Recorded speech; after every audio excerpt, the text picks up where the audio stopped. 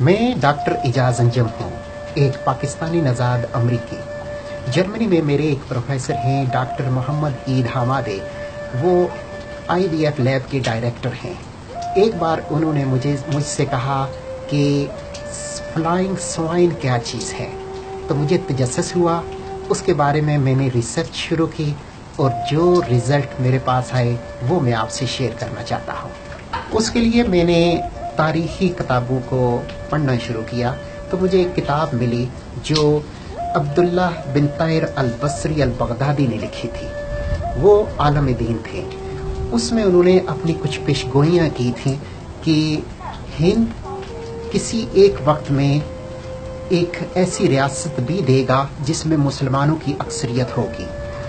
مگر اس دیس میں بہت زیادہ افراتفری ہوگی اور بہت زیادہ انسٹیبلٹی ہوگی اور اس کی ریزن انہوں نے یہ بتائی کہ وہاں کے لوگ ایک ایسی خوراک کھائیں گے جو خنزیر نما ہوگی۔ تو اس وقت یہ بڑی عجیب بات تھی کیونکہ بظاہر مسلمان ایسی کوئی چیز نہیں کھا رہے تھے، مگر اس میں انہوں نے اس چیز کا انکشاف کیا تھا۔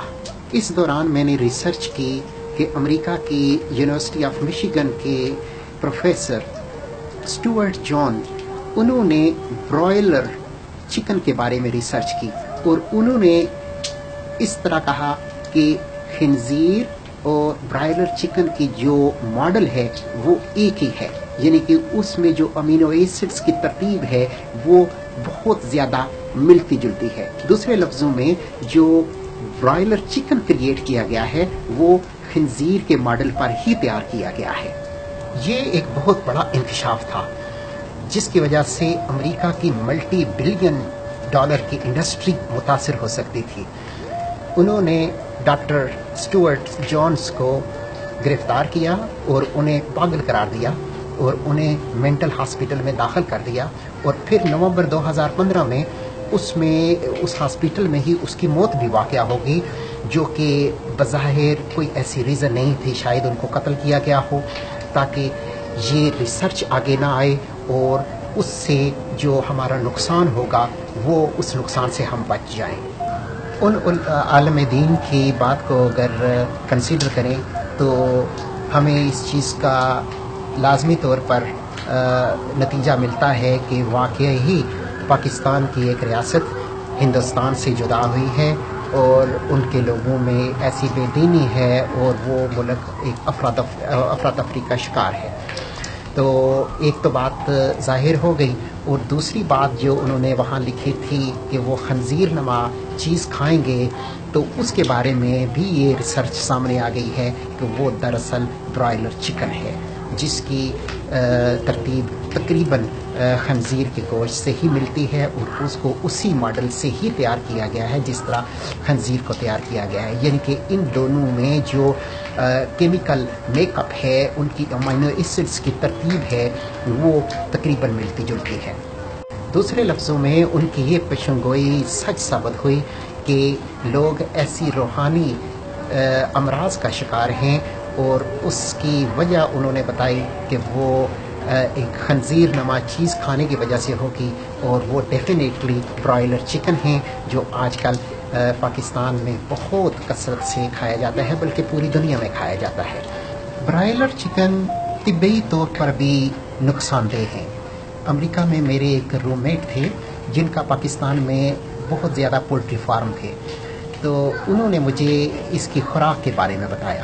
انہوں نے کہا کہ ہم جو خوراک لاتے تھے، وہ دراصل خون سے اور باقی مری ہوئی چیزوں سے اور مری ہوئی مرغیوں سے یا مرغیوں کے جو فضلات ہوتے ہیں، جو مرغیوں کی جو آمتیں وغیرہ ہوتی ہیں شام کو دکانداروں کے پاس بچ جاتی ہیں، وہ سارے اگٹھی کرتے ہیں، اس میں کچھ اور چیزیں ڈالتے ہیں، کچھ کچھ گندم ڈالتے ہیں، کچھ اور کیمیکلز ڈالتے ہیں، گندی چیزیں، اور اس کے بعد اس کو پروسیس کرتے ہیں اور اس کے بعد اس سے خوراک بنائی جاتی ہے۔ تو جب وہ خوراک بن جاتی ہے تو اس خوراک کو پھر ان مرغیوں کو کھلایا جاتا ہے اور اس میں ہارمونز بھی ڈالے جاتے ہیں، گروتھ ہارمون۔ تو اب وہ جو گروتھ ہارمون ہیں، وہ جب انسان کے جسم میں جاتے ہیں تو وہ اپنا ایفیکٹ ضرور دکھاتے ہیں۔ جیسے جن گھروں میں یہ برائلر چکن بہت زیادہ کھایا جاتا ہے، وہاں کی جو بچے ہیں، خاص طور پر بچیاں، وہ وقت سے پہلے ہی بالغ ہو جاتی ہیں۔ جیسے لوگوں کو تیرہ، چودہ، پندرہ سال کی عمر میں بالغ ہو جانا، ہونا چاہیے، لیکن یہاں پر تو آٹھ، نو سال کے بچے بھی بالغ ہو جاتے ہیں۔ وہ تو ایک جو چھوٹی بچی ہے، وہ پوری ایک خاتون بن جاتی ہے۔ تو کیونکہ وہ جو گروتھ ہارمون ہیں اس چکن میں، وہ اس کے جسم میں جاتے ہیں اور ڈیفینیٹلی اس کو متاثر کرتے ہیں اور اس کا بھی سسٹم انہینس ہو جاتا ہے گروتھ کا، جس کی وجہ سے وہ بڑی لگنے لگتی ہیں۔ اور اس کے علاوہ چونکہ یہ خوراک اس میں میوٹیشن ہوتی ہے یہ اس چکن کو ڈالتے ہیں اور اس چکن نے مہینے، ڈیڑھ مہینے میں دو کلو ہونا ہوتا ہے۔ تو اب چونکہ اتنی جلدی سے کوئی چیز گرو کرتی ہو، تو وہ اتنی زیادہ اس کے گوشت میں میوٹیشن ہو جاتی ہے، جو کہ انسان کے اندر جا کر بھی بہت خرابیاں کر سکتی ہے اور جو آج کل کینسر کے بہت زیادہ کیسز ہیں، ان کا بھی یہ ایک حصہ ہے۔ اور یہ خوراک اتنی یہ اتنی ہیلدی خوراک نہیں ہے جس کی وجہ سے لوگوں کو بہت ساری بیماریوں کا سامنا کرنا پڑ رہا ہے۔ اب چونکہ اس تاریخی کتاب اور جدید ریسرچ سے یہ ثابت ہو چکا ہے کہ برائلر چکن دراصل ایک بہت انہیلدی غذا ہے، جس میں پوٹینشیل ہے کینسر کا بھی، جس میں پوٹینشیل ہے گروتھ کا بھی، اور اور یہ حلال بھی نہیں ہے۔ اور کچھ لوگ کہتے ہیں کہ یہ چونکہ پینتیس پرسینٹ حلال ہے اور پینتیس پرسینٹ حرام ہے اور سکسٹی فائیو پرسینٹ یہ حلال ہے، تو چونکہ یہ غالب امکان یہی ہے کہ یہ حلال ہے۔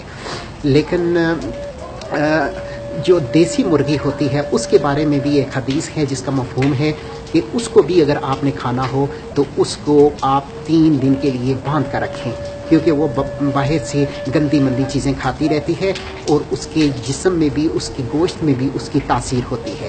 تو اب اس سے بچنے کے لیے انہوں نے کہا کہ اس کو تین دن کے لیے باندھ کر رکھیں۔ تو یہ جو فارمی مرغی ہے، اس کی تو غذا ہی ساری حرام چیزوں سے بنی ہوئی ہوتی ہے۔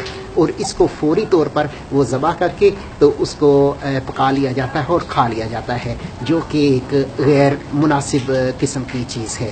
ویسے بھی حرام سے بچنے کی تلقین کی گئی ہے کہ دواؤں کی قبولیت کے لیے ضروری ہے کہ جو چیز انسان کھائے وہ حلال کی ہو۔ تو اس کے دو معنی ہیں۔ ایک تو جو کمائی ہو وہ حلال کی ہو اور دوسرا وہ چیز حلال کی ہو جو آپ کنزیوم کر رہے ہیں۔ تو چونکہ اس میں غالب امکان ہے کہ یہ مکرو ہے یا یہ حرام ہے، کیونکہ اس برائلر چکن کی جو خوراک ہے وہ حرام کے اجزاء سے بنائی جاتی ہے۔ تو پھر ہمیں اس سے اجتناب کرنا چاہیے، کیونکہ دعاؤں کی قبول ہونا ہماری زندگی کا سب سے مین حصہ ہے، سب سے اہم حصہ ہے، جس کی ہم سب کو ضرورت ہے۔ یہ ویڈیو سننے کا شکریہ، اور مجھے امید ہے کہ آپ اس انفارمیشن کو اپنے عزیزوں اور اپنے دوستوں کو ضرور شیئر کریں گے تاکہ ان کا بھی فائدہ ہو۔ اللہ حافظ۔